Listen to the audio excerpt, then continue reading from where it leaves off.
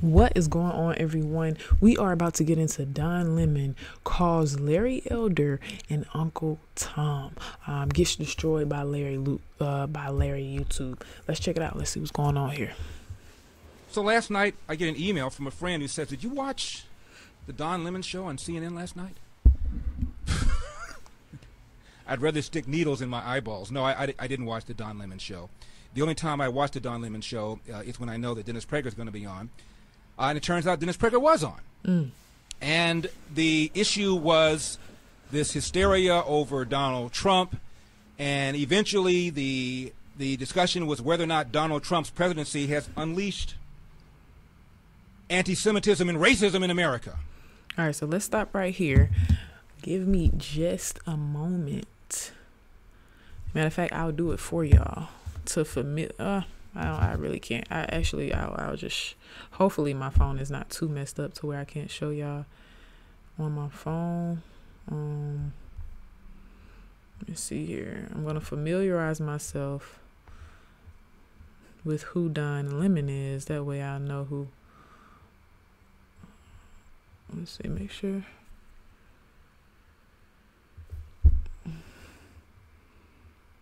Let me Make sure I'm right because I'm seeing old photos.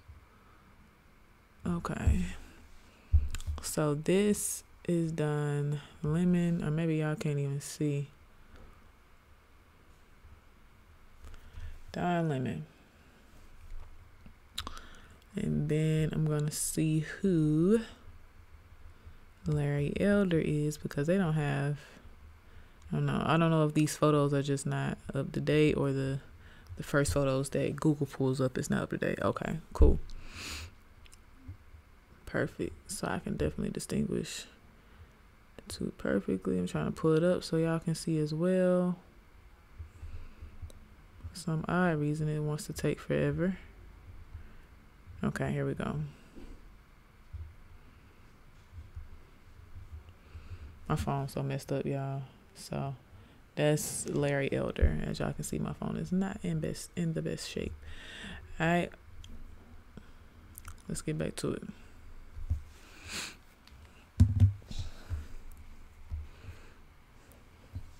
And of course, Prager thought it was nonsense.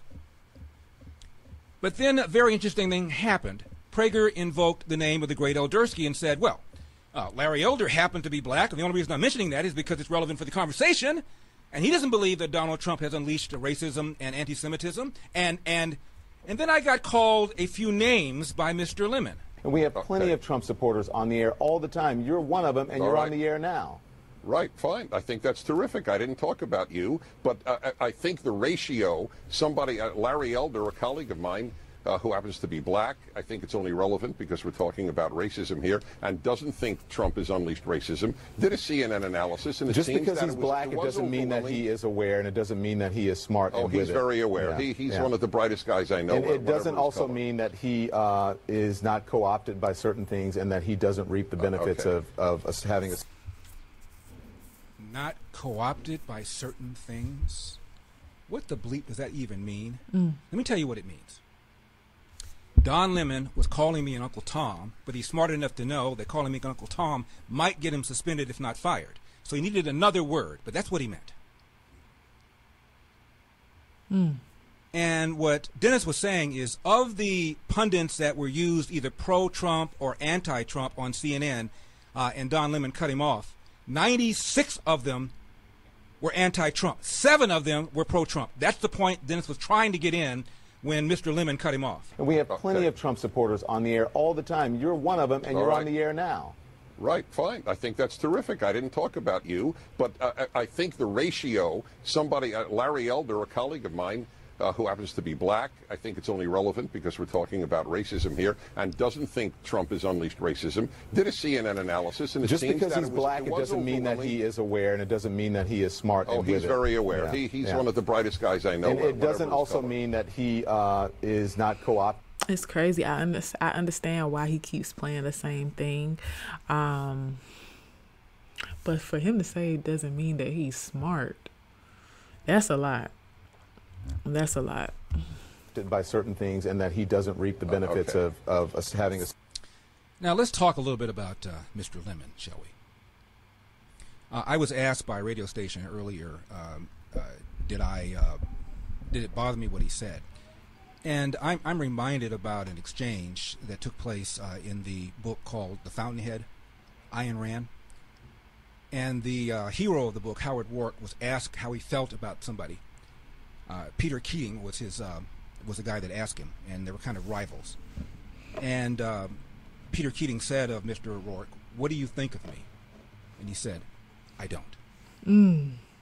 And that's how I feel about about uh, lightweights like like Don Lemon and uh, Marc Lamont Hill and Michael Eric Dyson. They're all the same. These are all educated people, tenured people in, in the cases of the ones that, that are at uh, colleges, uh, making six figures, perhaps even more than that, sitting around bitching and moaning and whining uh, about how bad things are for other people. See, they were able to make it. Somehow, the thicket of racism, they were able to navigate through that. Somehow, they were able to cut down and, and, and deal with all of the, the institutional, systemic, structural racism that holds everybody else back. Didn't hold them back, of course, because they're talented, uh, lucky. Uh, what's the analysis here? Mm. And um, I think it was the last time I was on Don Lemon's show. I happened to quote a poll that was taken by an organization called, I can't think of the name of the organization, or I thought of the name of the organization, it's called CNN. CNN Time did a poll in 1997. That's 20 years ago. They asked both black teens and white teens the following question Is racism a major problem in America? Not too surprisingly, both the black teens and white teens said yes. But then they asked the following question of black teens Is racism a big problem, a minor problem, or no problem in your own daily lives? Mm. 89% of the black teens said it was a little problem or no problem in my own daily life. And this is a real bombshell takeaway. Twice as many black teens as white said failure to take advantage of available opportunities is a bigger problem than racism. End of quote. That is a big one and it's very dissected. It's very um I feel like it's a very strategic and to the point question. It's not too broad. It's it's taken down to a very narrow uh, question for us to get to the point and really attack um, the light or, or, or to really go after the light of the situation. That's a Time CNN poll 20 years ago. And you're telling me now racism is greater now than it was 20 years ago after the election and re-election of a black president? You see, victicrats like Don Lemon think that they're advancing the cause when in fact they're hurting the cause. They are enabling people like my friend Muhammad, not his real name. I grew up with uh, Paul, knowing him since the second grade. Great athlete. Mm. He was a starting point guard for the high school basketball team. He was the best pitcher for the baseball team. He picked up a tennis racket, fooled around with it for two weeks, tried out, and made the tennis team. He was the quarterback of the football team. He was the greatest prep athlete I have ever seen. We were very. Hey, Paul, what's his last name? What? Dog was elite like that? very good friends. I graduate from high school. I go to college. I come back, and my friend has changed his name from Paul to Muhammad. Mm. He's thrown away all his trophies, thrown away all of his stuff, and now he's going to be a warrior for the cause. You see, here's what happened. When Muhammad would be late for practice, as he was all the time, he mm. never got benched. One time he was really late, and as the coach was finally berating him in front of the other players, Muhammad slowly took off his jersey, threw it in the coach's face, and the coach started him the next game.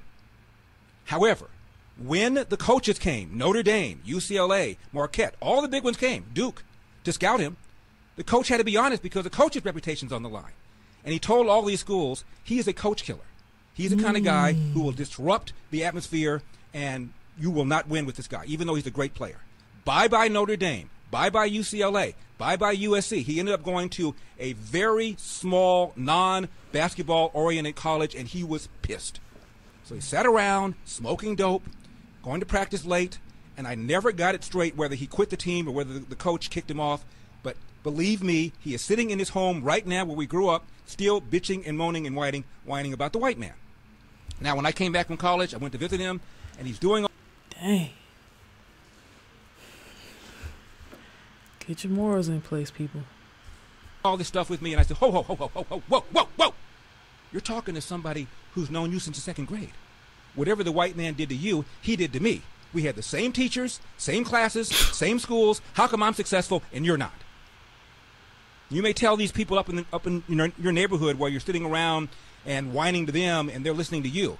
That might work for them, but not for me. I've known your butt since the second grade. Anything that happened to you happened to me, and therefore it's on you. You made choices. You showed up late. You had an attitude.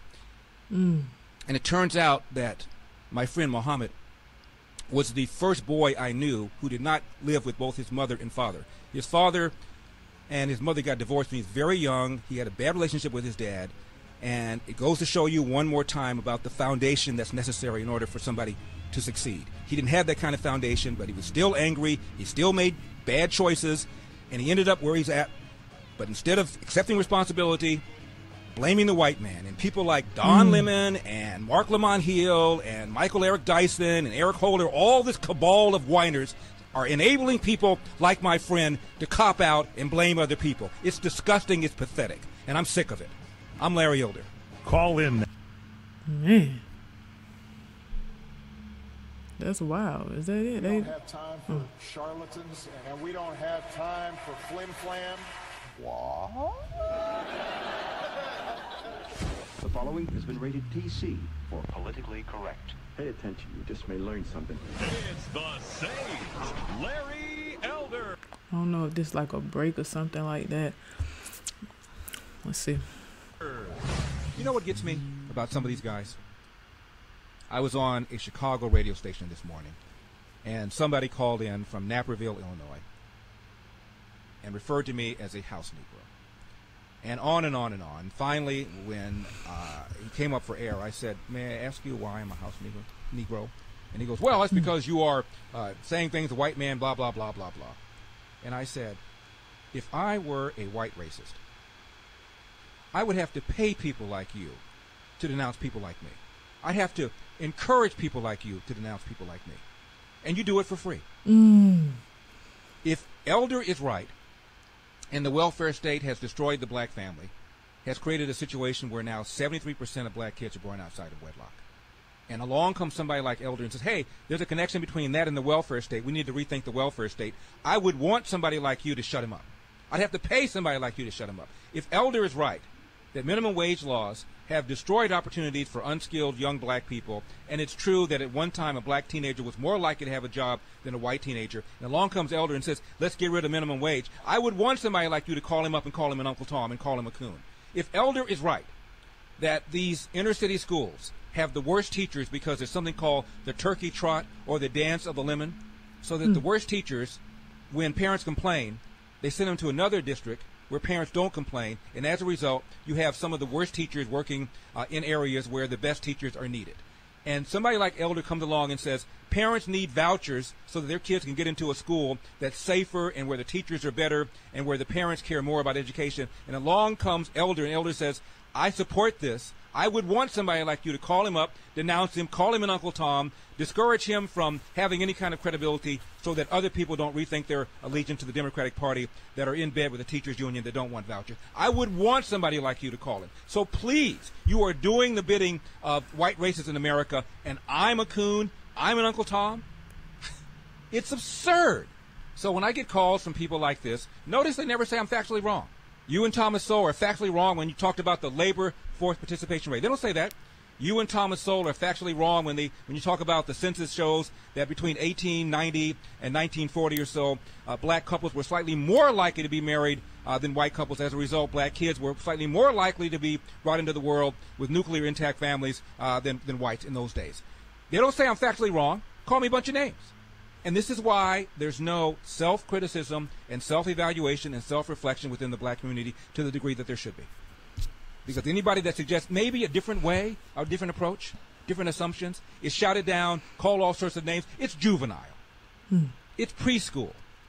And all it does is make things worse because assumptions are not challenged.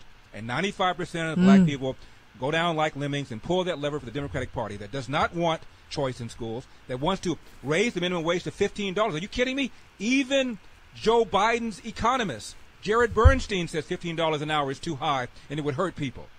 Is this thing on? But I'm a bad guy. I'm an Uncle Tom. It's juvenile and it's counterproductive and makes things worse. Now, how I, I, I really, um, these are my final thoughts, by the way. I really would like to fully understand how could a higher minimum wage hurt people? So I need y'all to comment that below so I know you made it. How can a higher minimum wage hurt people? Especially when everything else is high. Hmm. That's a good question. Um, I think facts are important. I think facts are important. Um, those that's my final thought on this. I don't have, you know, too many details. That's why I try to stop in between. Or I mean, most likely I really just like to get informed. I had no idea about this particular situation. Um, so yeah, that's my main thing. I like to get informed. Um, so this is just information that I'm retaining. Um, and also, you know, you can't go wrong with facts. And that's just the truth. All right. Till next time, I am your girl V Coop, down piece and V Coop to be exact. Make sure you like, comment, share, subscribe, all that good stuff, man. If you feeling generous, check out the information right above. Feel free to donate. Donos are accepted, not requested. If you don't have access to the options above, excuse me, feel free to hit me up in my profile email so we can chat. All right, check out the video that's popping up on your screen right now, as well as my other reactions. Come over to the Coop Troop Live. Make sure you hit that notification bell first so you can know when we are on. All right, till next time. Thank you for joining.